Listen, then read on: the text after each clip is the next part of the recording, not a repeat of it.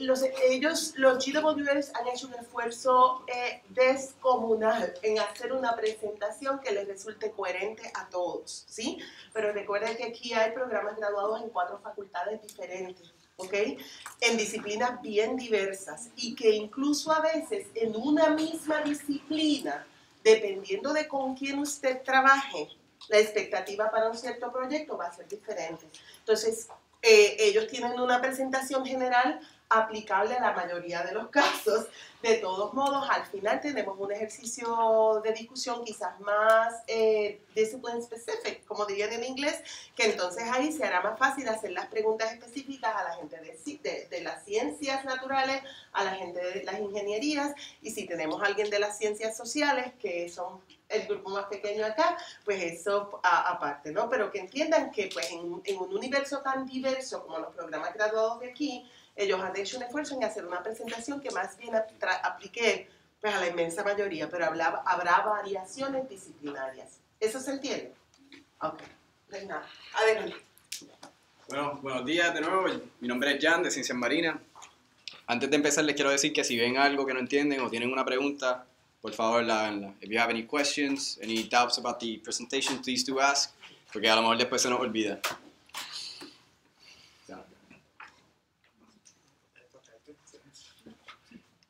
Bueno, the work what we want to do with this workshop is we want to help you, graduate students, understand the pre-writing and then the actual writing process and the stages that we have within these two processes and how to do it successfully. Because we do have a pre-writing process where we have to brainstorm, we have to do, uh, we have to plan, and then we have the actual writing process where we do drafts, where we revise, and where we actually do the writing. We're gonna provide some guidelines that will help most most disciplines, the general guidelines to help with the structure, the drafting, and the and the manuscripts. And also, we want you guys to feel confident at the end that you can that you can actually tackle this project successfully. And so the what we plan to do today is we're gonna talk about what's the purpose of a thesis, why do we do this, what are the requirements so, some requirements that we have when we when we're writing the thesis? And this this goes for uh, when we do animal testing or when we do interviews things like this. What's a basic structure the actual structure an introduction an abstract table of contents that type of thing? Uh, and we want to give you also some strategies on how to brainstorm on how to tackle um, writer's block that type of thing And at the end, like Jocelyn said, we're going to divide by major disciplines. I'll, I'll take science, uh, Lisa engineering, etc. with the arts, and we can have discussions about the actual formatting of these major disciplines or any specific things. and so when, when you get to the master thesis, you do a lot of work, you do a lot of investigation, and all that work is nothing if you don't write it down. And so that's what's really important about your thesis. It's all that information written down and published so that others can see this, read this, improve upon it, use it as a guideline for themselves. it presents original research. So you can't do a thesis on something that's already been done. You can have a thesis that builds upon another thesis. Like it's common in engineering. Lisa had told me that if you there's a there's a technique and then you apply this technique to something novel but it always have to it always has to be new information. That's the point of a thesis. It's going to present original and critical analysis, and, and of course you wanna you wanna close the knowledge gaps. You want to find new information. This is what you want to do when you do a master's. And throughout the thesis, you want to plan, complete, interpret, and report. And, and that's the that's the major thing about the thesis. You want to report and publish this information. And so It's very common practice to do a proposal. At, you have to do a proposal, but it's very common practice to build upon this proposal. So if you, you have like a 15 page proposal, it's not going to waste. You can use this as a draft for your thesis. And, and it's very common practice. You already have an introduction, you already have methods, you already have objectives, hypotheses.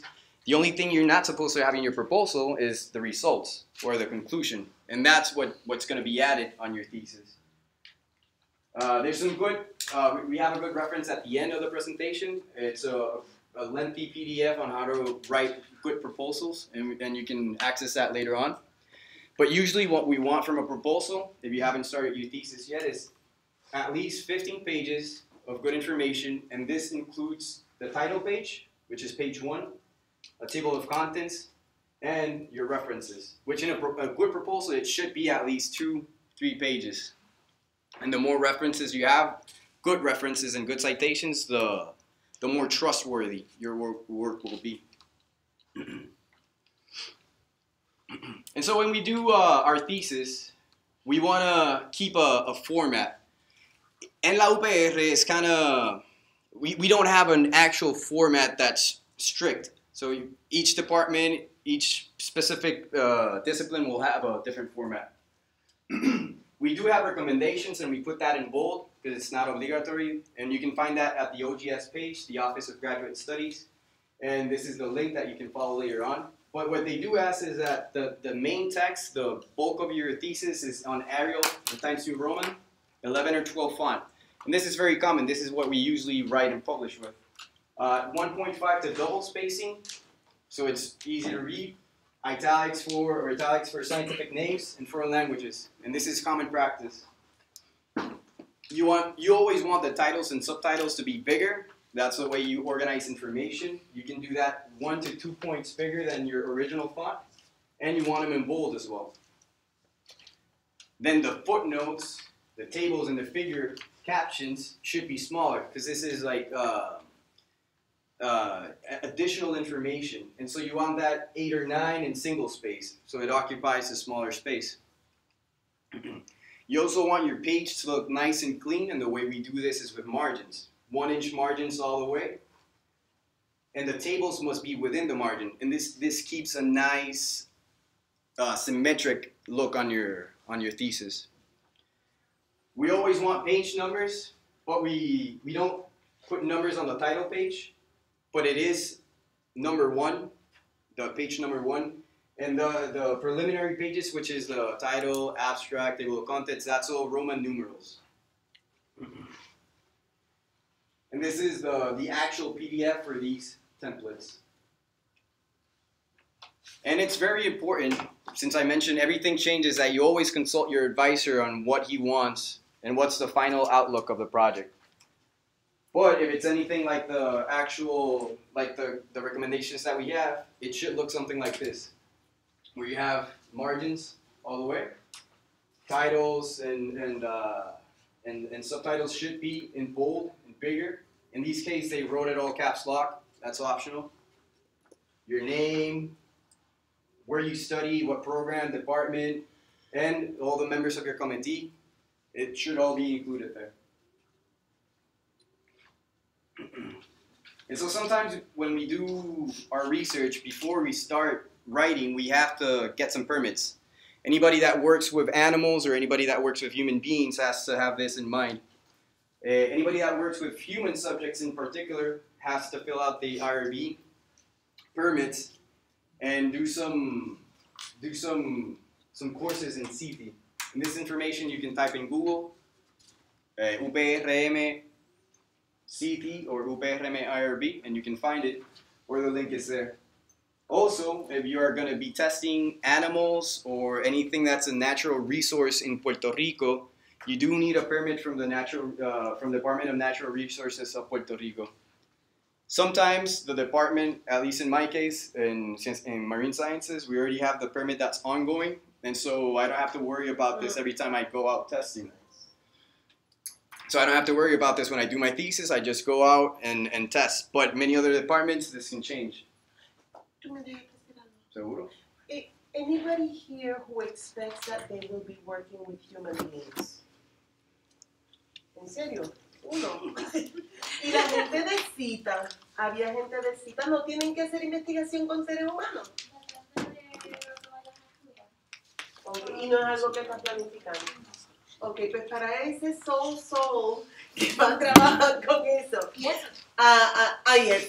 Pero ya tú lo hiciste. Ya. Eh, ese link lo lleva a los formularios, pero quizás conviene, me lo escribí aquí, que también esa página está migrando. ¿sí? Y una información está disponible en la página vieja y otra en la página nueva, como a veces nos pasa, que no lo encontramos y uno se pone como un poco nervioso.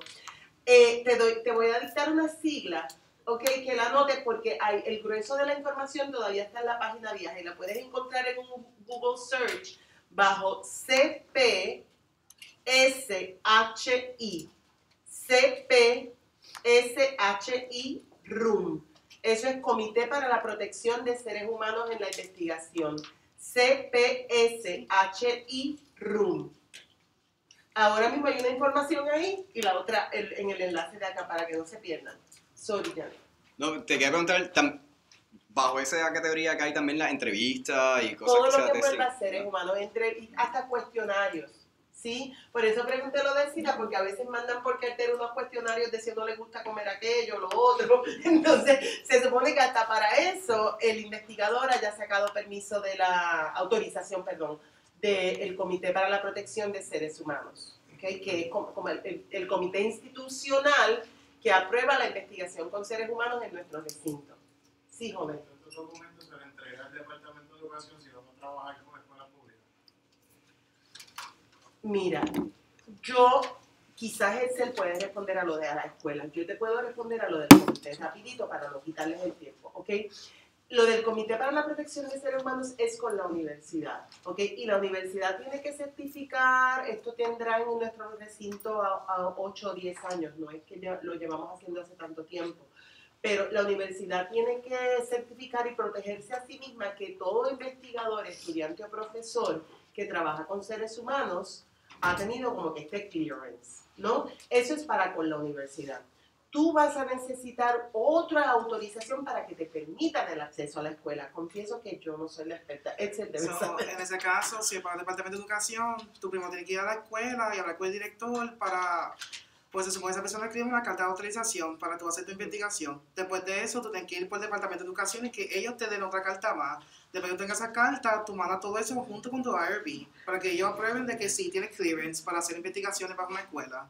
Y eso te va a tomar tres semestres. Así no, no, no.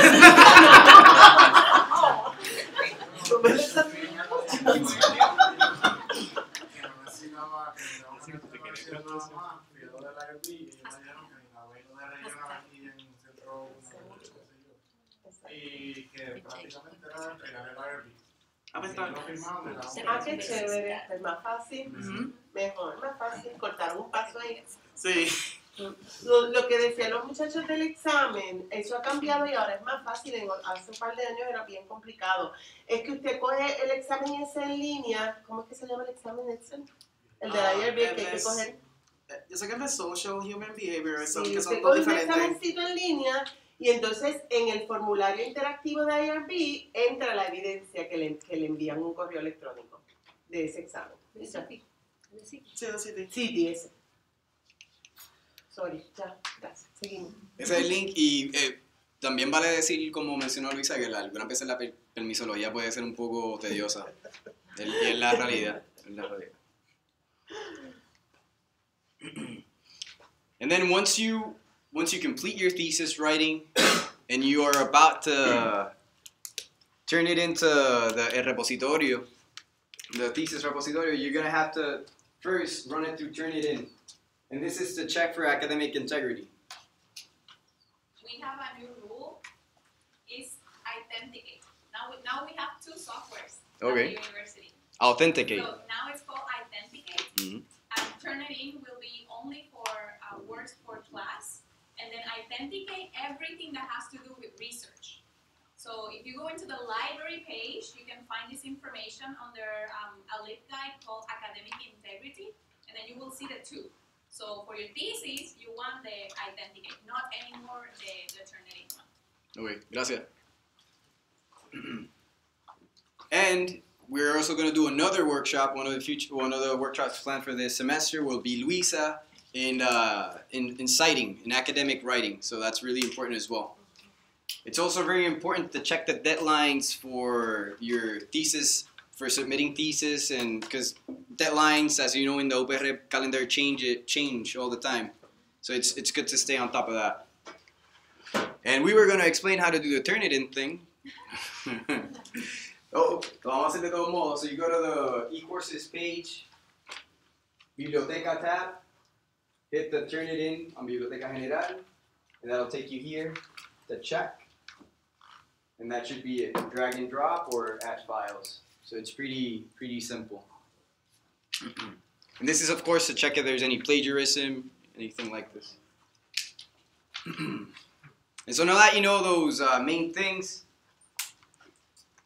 the the thesis writing process generally goes with the, with this format where you have an introduction, a literature review, methods, results, conclusion, and discussion.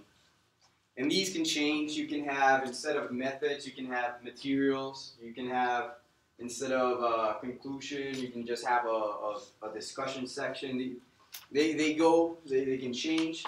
But the idea is pretty much the same where you have to state a purpose, state a hypothesis. Where you have to show what's been done and that you understand and that you know what you're doing. Where you uh, show that how you're going to do this with precision because it's important to, to write this well.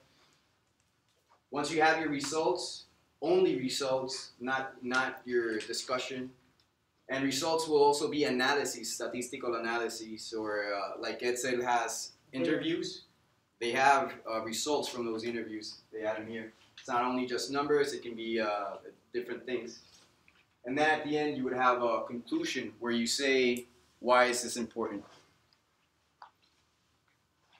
Okay, so uh, following on what Jan said about the thesis structure, okay, we usually have the preliminaries, and we already talked about that. So the title page, table of contents, if we have a glossary of terms, uh, and the abstract. Okay, after that, uh, and th- remember these are just guidelines. Okay, there's not a set structure for chapters and or chapter names. Okay, you can write uh, whatever chapters you want. It can be six, seven chapters. Uh, but the important thing is that they're organized. Okay, so that, that's what we're trying to give you, like some organization while you're writing uh, your document. Okay, so chapter one usually includes an introduction, okay, and a background, and it should include the purpose of your thesis and, and how to justify uh, the study that's being done. Okay, so chapter two is a little review. We're gonna talk a little bit uh, more about that uh, methodology, okay, and you can have uh, people in the sciences have hypotheses, okay. Uh, in arts, sometimes they have research questions. In, in engineering, tenemos lo que llamamos como que objetivo, tenemos como un problema que we have to solve. Okay, so depende de, de, pues, de disciplina. Uh, chapter 4, uh, results and discussions, uh, conclusions, recommendations. Uh, this is a basic outline of what a thesis should look like. Okay, so we have abstract, if you have a copyright uh, page, uh, dedications, acknowledgements, okay, we already mentioned some of these. Abstract, okay, there's uh, important, there's a LibGuide on uh, a workshop that we already gave on abstracts. So you should go out and check that. Uh, if you type in Google uh, GWF GRIC, okay, you're gonna see a little uh, link that's gonna say Clínicas de Redacción. And then you can find the abstract clinics, okay, una, abstract, una, una clínica que duró una hora y media, o sea que, que hay mucha información. Si usted necesita, ¿verdad? Pues ir ahí y buscar información, pues ahí la va a encontrar. Lo que vamos a dar aquí es un solo slide, okay, so it's un resumen, uh, super quick, okay. Esto es importante, and we're doing this clinic because uh, we see the work that people bring in at the appointments, okay? Y, y siempre pues, es una confusión, ¿verdad? Porque no sabemos bien pues, cómo hacer las referencias, cómo formatear el documento y qué de verdad es lo que tenemos que escribir. Ok, so abstract. Abstract es qué? Es un solo párrafo. Y ahí llegan tesis que son tres párrafos, cinco, cinco páginas. Mira, un abstract es un solo párrafo, ok? It should be well developed, well written, ok? Debe tener que, it should include everything you did in your thesis, pero es super concise. Should have an introduction, ok? Debe de hablar cuál es el propósito, methods, and it should include your uh, results and conclusions, okay? And this is a descriptive abstract, which is the one we do in sciences and engineering, okay? Si ven la presentación, there are many different types of abstract that we can do, pero este es el más común. It should be brief, and these are the ABCs of uh, abstract writing. So it should be brief, okay? There is a concise language, okay? And it, this is important, okay? It should stand alone as a unit of information. Cuando usted escribe un abstract and you're going to submit it to a, a paper, so you, got, you want to publish peer reviewed, eh, debe estar toda la información referente a su paper o a su tesis. ¿Y, y qué es una tesis en realidad? Es un paper bien largo, ¿ok? So, e- es el mismo formato, o sea, esto le puede dar a usted para hacer papers, para hacer su tesis. Eh, debe ser eh, standalone as a unit of information, debe estar todo contenido ahí, ¿ok? Todas las partes de su, de su eh, reporte, de su eh, artículo o de su tesis. Eh, no debe tener, ¿verdad? Este, personal narrative, okay? It shouldn't have your opinion or, or anything like that. You shouldn't uh, include commentaries. It shouldn't have what? Figures or graphs. It's just text, okay? Y esto es importante, it should be clear. Lo más importante aquí es que no tenga citations, okay? Hay mucha gente que pone los citations en el abstract y el abstract no incluye ningún tipo de citations, okay? So this is uh, the uh, most important part of the abstract. It shouldn't include any acronyms, okay? If you're going to include an acronym, you have to spell it out. Ah, es importante saber que la parte de introducción y purpose del abstract se escribe ¿qué? En present tense, ¿ok? Cuando hablamos de methods y, y conclusiones, pues ya, ya se puede escribir en past tense, que esos muchos problemas que tenemos aquí, ¿verdad? Viene un estudiante con el capítulo de metodología completo. Todo escrito en futuro. Y ya una vez que usted realiza su trabajo, su experimento, esa metodología va en pasado. Que usted sentarse capítulo, página por página, cambiar los verbos es, es tedioso. So it's important that you guys uh, get uh, how you should write every every part of your thesis uh, like the right way from the beginning, so you don't have to like go back and change it. Um, introduction, okay? It should have what purpose of your of your. Uh, tenemos, ¿verdad? Y nos pasa mucho que vienen estudiantes y no tienen ni idea. Tal vez maybe they don't even uh, understand the topic that they're working on. Y eso pasa mucho, ¿ok? Usted tiene que tener claro cuál es el propósito de su estudio, qué es lo que usted va a hacer, ¿ok? ¿Cuál es esa hipótesis, esa research questions that you want to tackle, ¿ok? That's, that's super important, ¿ok? Uh, you should include any definitions, ¿ok? Remember that in this like interdisciplinary world, todo el mundo está leyendo las tesis de otras disciplinas, so it's, it's good practice for you to include any definitions of any terms that some other people might find difficult to understand. Okay, we should include uh, delimitations, limitations, and assumptions, and this is really important. Okay, uh, you should include if, if there's something that, that you were able to control, see hay variables that are out of your control, okay, or if there's some information that you uh, assumed during your work. Uh, the introduction is always uh, written in the present tense.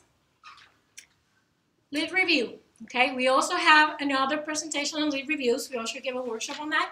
Uh, so you can find it. We can, uh, when we finish, we can just Google it so you can find it. Uh, this, uh, the more, the most important part of the lit review is what? That you don't start writing right right when you get your your problem statement, right after you start uh, you're working on your project idea. The least thing you can do is start writing your review, okay? Because then it's gonna need a lot of rewriting, okay? The first thing you do is what? The purpose of the review of the review is to show what? That you thoroughly understand your topic, okay? Si usted todavía no entiende bien su tema, usted tiene que con su advisor, you need to get like some background information, okay? Usted tiene que hacer ese search para usted poder entender qué es lo que usted está haciendo, okay? It should be what? It should give either have a coherent account of what you're doing or have a historical background, okay? Dependiendo del tema que usted vaya a tocar, obviamente, este, usted necesita ese background histórico de lo que se ha hecho en su área and what needs to be done, okay? Que entonces esa es su contribución a la, ciencia, okay? Usted debe las técnicas, las técnicas disponibles y mostrar que hay un gap, un knowledge gap. What's, what Jan said, that is an original contri- contribution, okay? So that's, that's how you plan your, thesis uh, document, okay? Original contribution, again. La, el review, uh, the verb tense depends on the sources you're citing, okay? So it, it, it can be a little tricky. So the first step, si, y sé que hay muchos de que son de primer año, si usted todavía ¿verdad? está como que empezando, lo primero es usted puede hacer búsqueda de la fuente que usted necesita, okay? Esos son keywords. If you don't know what you're looking for, you're not going to find it, okay? So, y la, y tenemos, ¿verdad? Un montón de bibliotecarias excelentes. You can come, you make an appointment, and they can give you hints on, on searching techniques, okay? So you can find the papers that you're looking for. Uh, it's good to use uh, bibliographic data management, okay, como Zotero, como Mendeley, este, cualquier otro tipo de programa que lo ayude. Si usted escribe un reporte de una clase, usted tiene cinco fuentes, ah, no importa, pero una vez que usted empiece a escribir su tesis y tenga 50, 100, 200 referencias, trust me, it- it's going to make a difference, okay? So, desde ahora que están empezando, plan out, este, tomar algún taller, lo dan en la biblioteca, un taller de, de estos software, de, de, pues, usted puede organizar sus fuentes, sus citas. you need to find uh, good sources que son la tertiary, secondary, and primary, okay? These usually are books, uh, journals, and research papers, okay? Y es bueno que, que las fuentes obviamente sean recientes, eh, que no sean papers que sean demasiado viejos, y que sean papers que tengan a lot of citations, okay? You don't want a paper that has two or three citations, you want papers that are como que son como que la eminencia, ¿verdad? Son lo más importante en su, en su campo de, de estudio. El lead review separamos esta fuente, la información que sacamos de la fuente, we separate them into different subheadings, ¿ok? Y esta parte es super tricky. Eh, ustedes pueden hacer cita, vienen, podemos discutir. Usually some people that come, come in, uh, they just have like a bunch of different subheadings y pues venimos y nos sentamos y las acomodamos, ¿ok? Y eso pues no, no se puede hacer. Don't get discouraged porque se puede hacer. Una vez que sacamos esos headings, pues vamos entonces a separar la información. Usualmente es bueno usar un synthesis matrix, ¿ok? Y vamos a ir a esta. This is, this is what's a synthesis matrix, ¿ok? Y esto es de, de Jan que está allí, ¿ok? Y usted lo que hace, y es bastante complicado, ¿ok? Usted se va a Excel y pone, pues mira, tengo estos papers, estos son mis autores, hago un análisis de, de, esa, de, esa, de ese source, eh, puedo escribir cuál fue el objetivo de ese paper, del estudio que se hizo, el año, que es importante, obviamente, si es algo más reciente, ¿ok? Y usted entonces organiza todas sus fuentes por su tema, por su título, ¿ok? Y eso pues los va a ayudar entonces a...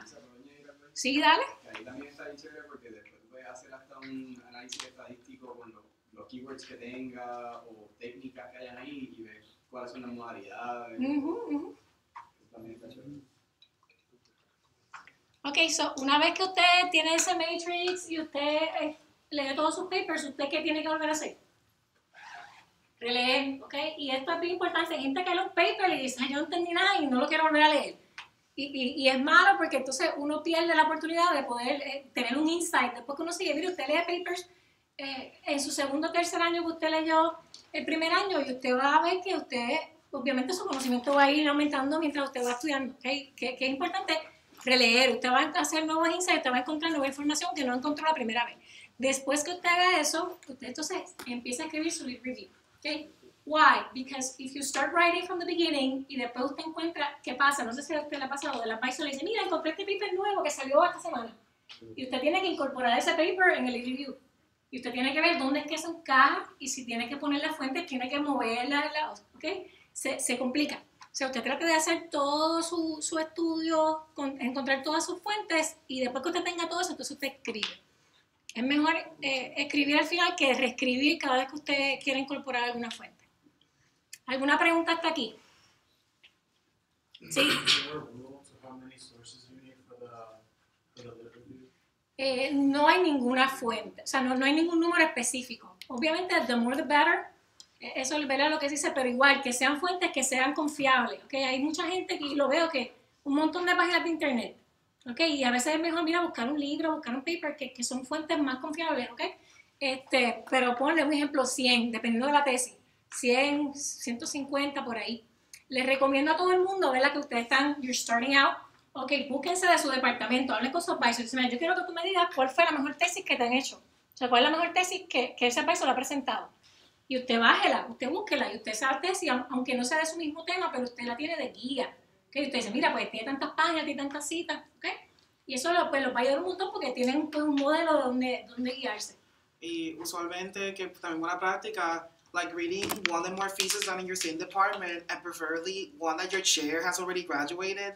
Those are the theses you should look at and look at an example, like how many sources they did, which methodologies they use, what does your chair like in the writing of their students. That should be something you should think about when you're starting to write your thesis project. Eso sí.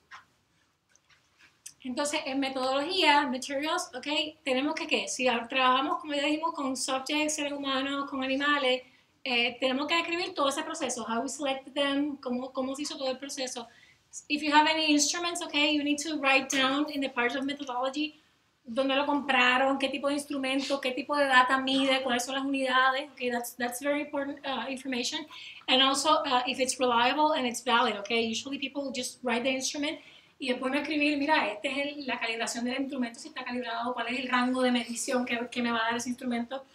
Eh, por ejemplo, procedures, okay? Y esto es importante because the methodology part is going to give anyone, okay, the ability, it should give anyone the ability to replicate your experiment, okay? Tiene que estar ahí todo lo que usted usó, todas las medidas que usted tomó para que cualquiera pueda replicar ese experimento, ¿ok?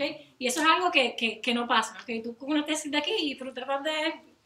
está incompleta, ¿ok? So, debe estar la descripción mejor posible para que cualquier persona pueda replicar ese experimento.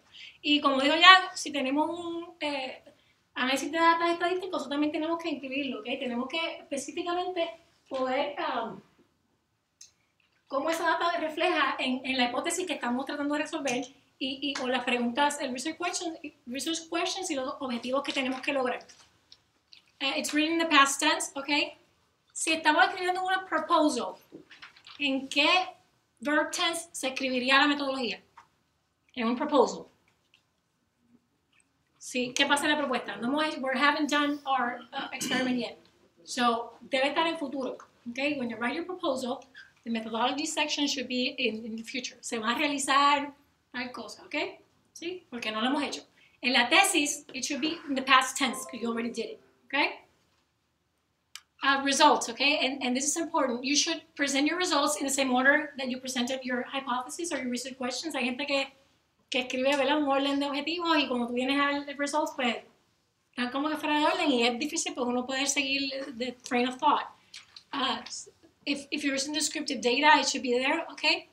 And if you're using any statistical testing, it's, important, okay, to, to just uh, give the, the methods that you use, si usaron un ANOVA, si usaron cualquier tipo de método estadístico, okay? Eh, eh, poder probar que, pues, cómo ese, ese análisis aporta a su, aporta a su, a su documento. Se debe escribir también en el past tense. En la propuesta no tenemos resultados, obviously, pero we can write uh, something that's called anticipated outcomes.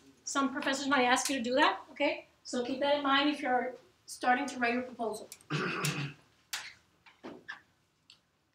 es importante, eh, estos últimos capítulos, uh, you might think that it's really obvious information, okay, but when you're writing, it's not going to be as obvious. Y, y, viene gente con un capítulo de metodología y tengo una tabla de datos en la metodología, ok, porque pues es difícil uno poder separar esta, estos diferentes pues, cosas, investigación que estamos haciendo, separarlo, ¿verdad? En conclusión, esto es resultado, ok.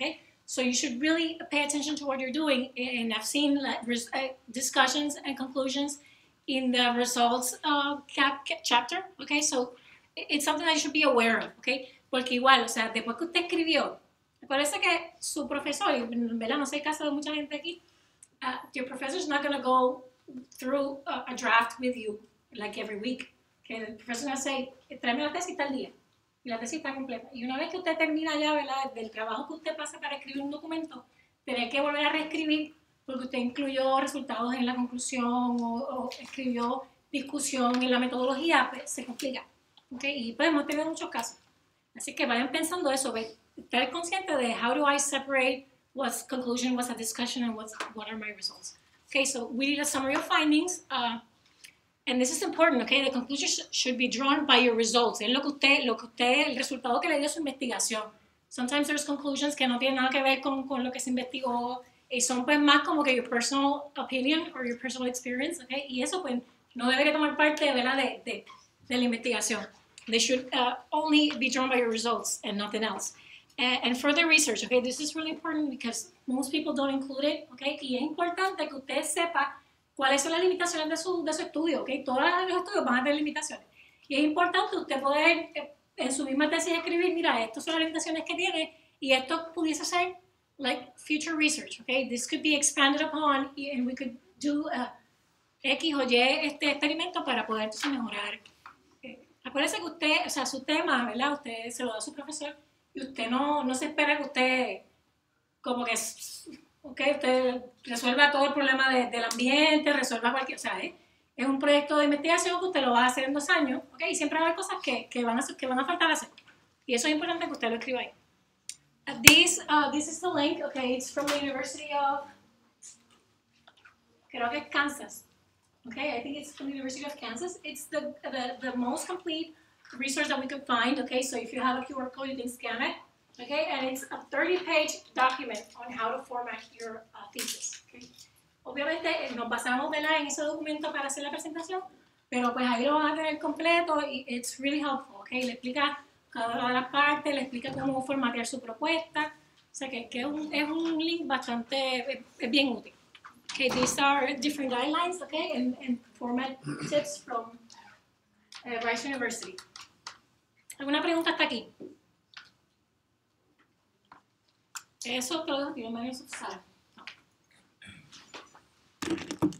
Okay, everyone. Well, if I didn't mention myself, I'm Edsel Sintron from the English department. We're going to be talking about not only the manual styles, but also some strategies to beat that writer's block that sometimes is the main source of problem when we're trying to write big projects such as papers for publication, our thesis project, and others. Before we get to that, let's talk about a little bit about the manual styles. Here right now at the GRIC, we do have sources available if you have to write your prize, your research project in MLA format, APA format, Chicago style, or any other. Those resources, you can find them here and borrow them as long as you're here at the GRIC. They're located there at the comment circle right at the back. There's a little table over there in the corner. If you can see like all the books over there. We provide all the manual styles, both in English and Spanish, depending on what language you're required to write your big project. And of course, with our lib guides at the university, we have our lib style for APA format. We do have useful link for Chicago style and for MLA, depending what are your needs and resources in each of these manual styles. All right, let's talk about strategies and tips for long-term writing projects. So I'm gonna start off with a few questions. So when you start writing, and when you want to write, like let's say maybe a paper publication or one essay for a class or a lab report, how often you look at your big word screen empty, you're ready to write, you know what you're going to do, three hours later you still have that same empty word screen in that computer. How many has that happened to you? O cuando han pasado por eso tal vez. Don't be shy. I mean, me ha pasado a mí también, don't be shy. I can see you like nodding like, yeah, yeah, I don't want to do that. All right. How many of you think that, oh, let me take a quick 30 minute cat nap, but those 30 minutes turn into two or three hours of napping time and you completely lost all your productivity time when writing your project. I mean, I love to take naps and that happens to me a lot. and the first time I went to my first, uh, to my chair for my first thesis meeting, she quickly asked me like, what are your problems with distraction? And I told her all of that. So the first thing she told me is that, okay, I need you to read this book by the next meeting. If not, I'm not going to share you. So basically, she got me books that helped me how to be writer's block and how to strategically plan my thesis process throughout the whole period. Two books I'm going to talk about quickly is The Clockwork Muse, that basically it's a guide that shows you strategies of how to handle big projects in the long term. And the second one, which is How to Write a Lot, this one focuses more on publications and papers, specifically if you want to publish a lot and write a lot in a short amount of time. But these are two good resources that actually teaches you a few techniques of how you can beat or conquer your own writer's block and how you can increase your own productivity time. So for the purpose of this workshop, I'm just going to mention a few recommended by these resources. The first thing the book does talk about is understand yourself as a writer like what kind of writer are you? But most importantly when can you actually write a lot in a short amount of time? One of the things the book recommends is your own writing schedule but it's not simply putting your agenda i will write in this hour every day and that's it. It's more about understanding yourself and what time of day can you write? And what space or environment do you need to be able to produce those ideas those ideas and write? So for example in the author's case of the Clockwork Muse, currently the author talks about his experience in graduate school while being both a, gra- a doctoral graduate student and a parent and dealing with those two heavy workloads. Basically, the author gave an example that every day they will wake up from 4 to 6 a.m. to write just on a dissertation and work on that every day. So basically, you will have to think of yourself what is the best time that my brain actually pops and works my best ideas. Is it during the morning? Is it after a morning jog? If any of you exercise, I don't, that's what I'm asking. um, is it after lunch? I mean, after lunch doesn't work for me because I get sleepy, but for some people it works. All right, so when you think of timetables, another thing you have to consider when organizing your schedule is not only when is the key time for you to write, but how many pages or how much work are you willing to put in weekly or daily. In the offer suggestion, they will suggest that, for example, for chapter one, let's say we're writing a proposal, or in the thesis, I'll dedicate two pages a day as a minimum. Obviously, you can write more, but that's depending on how much you think yourself you can produce within a day or within your own time limit. When we talk about spaces, you have to think do I work better if I'm alone? Do I work better if I'm with peers? If I have someone like constantly like pressuring me to give me the projects, or do I work well with deadlines? Like when I say deadlines, I don't mean like five hours before your thesis meeting to magically write something to your chair and hope that he or she will approve it. I mean that strategically, each day, focus on that project to give a good finished piece. Because again, with both your proposal and your thesis project, you can't write anything that's half finished or anything that looks like it's incomplete. You have to give your all every time for your progress and your project to move.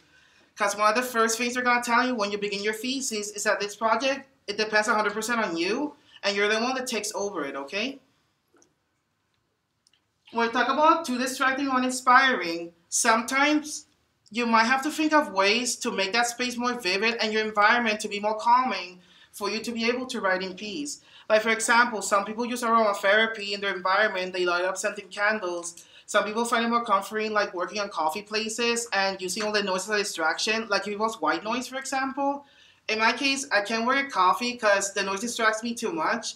I prefer to listen to white noise on YouTube, like the sound of rainfall, fireworks, or anything that could like distract me and help me focus on my writing. So there are many techniques that you can try out and experience that helps you multi your productivity time within your writing of your project. Now, and after you understand that, you're actually going to understand how that motivates you and yourself to actually finish your project and completely success a huge project like a publication or your thesis project or your abstract or anything you have to turn in in a few moments. The book recommends that there are three times to engage in writing.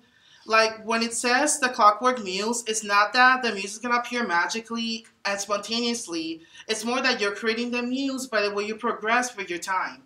So the author recommends three different productivity times that you always do at all times. What he mentions as A time is basically your highest point. That's the moment where you sit down and you actually wrote something useful in the two hours you said you're gonna write it.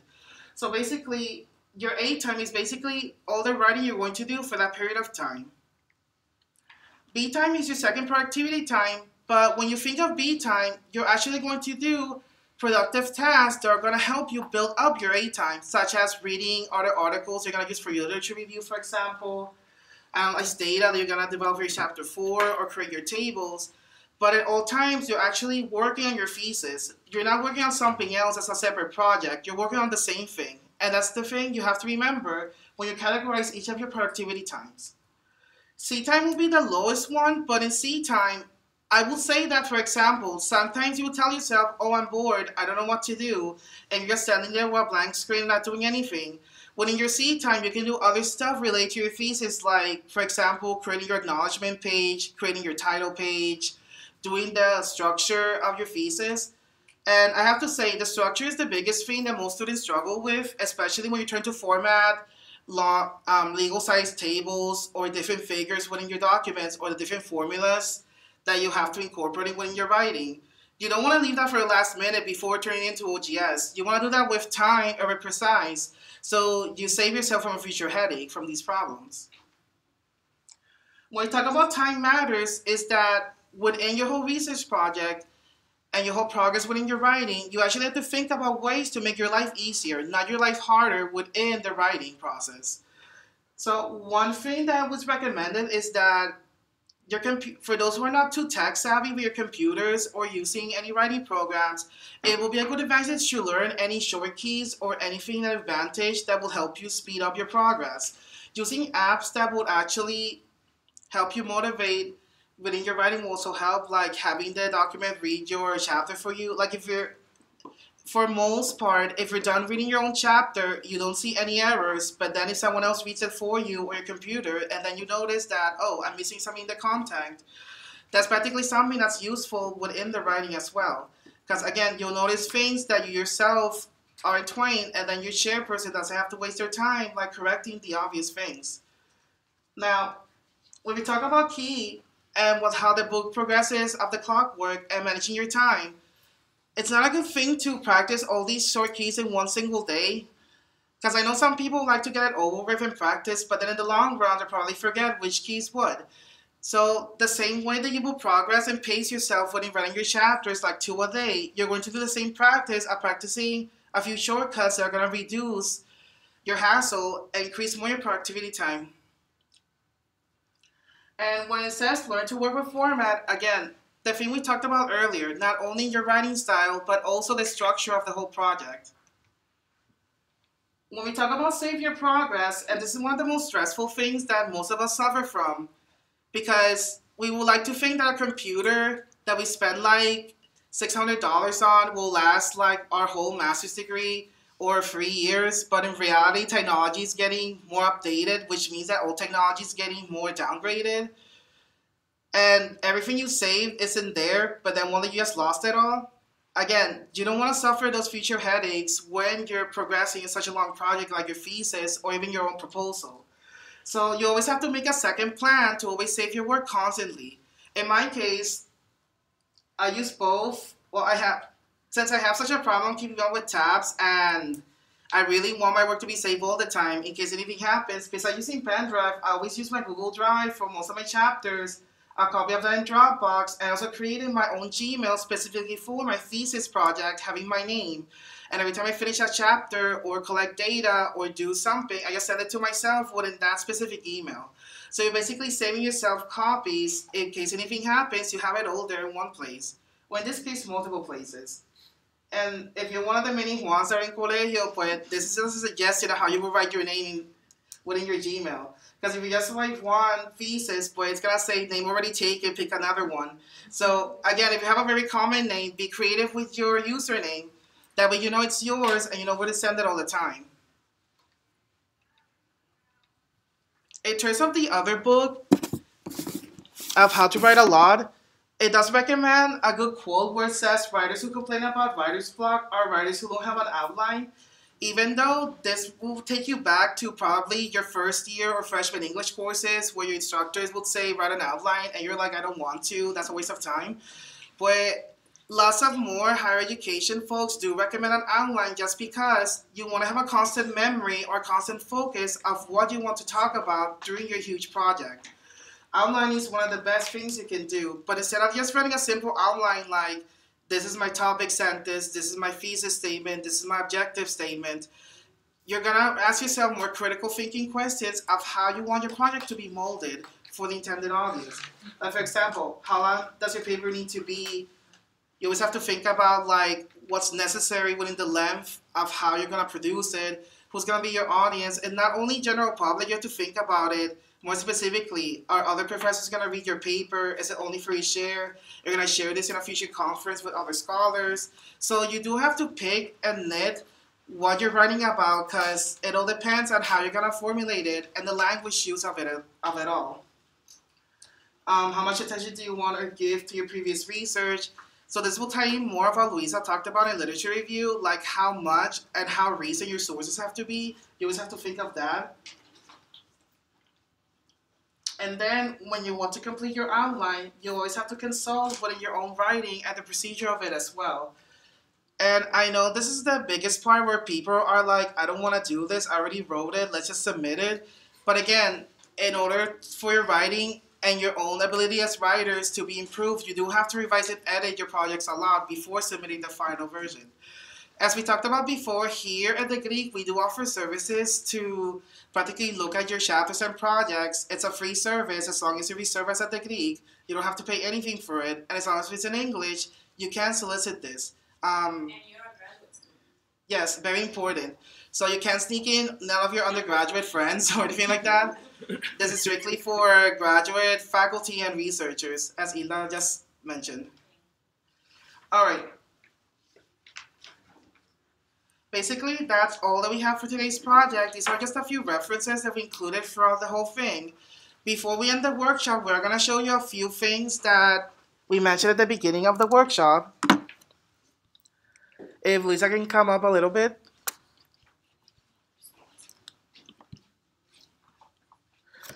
Puede, puede, puede preparar, puede preparar la página en lo que hablo y menciono. Sí, dame. All right. Sí, pueden, pueden jugar con So for most of you first years or practically starting getting acquainted with the GRIC services, we're going to talk about how you can solicit these services and how you can take most advantage of the facilities. So first of all, you're going to go to the GRIC's main website, but specifically, you're going to look for GWF, which is the Graduate Graduate Writing Facilitators. And our little tab, there are a few resources that you can use. The first one being to our services. Um, and there's a little tab where it says that you can access our previous workshops that we've done for the past years. So from 2016 to 2018, we do have workshops available that you can access, like poster presentation for sciences, academic writing for STEM, grammar review, and so forth. All of these are accessed through PDF format, so you can just click on them and download them, and these are for you to use and to revise as you continue your graduate studies. All right, let's go how to reserve the services. So you have two options. Either you can, if you have a specific graduate facilitator in mind and want to work with just that person, you can just go under their image and click select appointment. They're gonna give you the availability of date and time they have. And after that, you just select them, fill in your basic information such as your name, last name, email, and then your, your appointment should be scheduled to be announced through that day. The system's supposed to automatically remind you a few hours before that you do have an appointment for that day. So unless you forgot to write it down or mark it in your Google calendars, the system will remind you, okay? If you want a random graduate facilitator, as in you don't care who it is, there is a button up here. Oh, there used to be a button up there where it says We used to have a button, but then somebody, yeah, uh, not him, but we had a problem with the system and it didn't uh, like Jan, so we it, it would never appear. So, so we eliminated. it. Now you have to go to each of the bottom. Okay. But again, just so you know how our services work, per week you are allowed to reserve. For example, if it's the same person, if it's John, you're allowed to reserve it twice a week, maximum two hours for each session. Um, if you do want to plan your projects accordingly, you might want to reserve like more than each GWF if you want to get a lot done during the week. But uh, remember, we don't see each other all the time, so you do have to tell the next person, oh, with this person we worked with chapter two, and this is what we did. So that way the other person can know how to help you the most efficient way, okay? And so, and uh, if it's the first time, they have to fill out something else. Yes, if it's the first time you're serving the services, you do have to fill out a form that Lisa will show us in a few minutes. But basically, the form is just to let us know what kind of project you're bringing us, what specific help do you need, and how, and basically the outcome. We ask this for statistical purposes, but also to prepare ourselves to help you with the best of our abilities. All right, so with this display and everything, we conclude today's workshop. We're gonna open the floor for questions. Y, y algo importante, de email, email me button, eso no, esos emails no le llegan a nadie, así que por favor, este, to the sí, exacto. Exacto. O si nos ven por ahí, pues confianza, piden el email, ok, pueden escribir. So instead of giving you like a boring activity, so we just wanted to uh, wait, uh, get your feedback, okay, if you have any questions about what we talked about, uh, if you're working on something specific and you want to talk to each, any one of us. Yes, so if any of the science majors want to talk to John about anything specific, you can now. The same for engineering for Lisa, and if anyone from arts is here, I guess only two people. If you have any questions for me, you can. Before you leave, very important, please fill in the survey so we can get feedback about the workshop. So either you can use your iPhone or a free QR code if you have Android to scan it through the barcode. If you don't, grab your tablets or laptops and just write uprm.libsurveys.com tiger. The password will be 2018.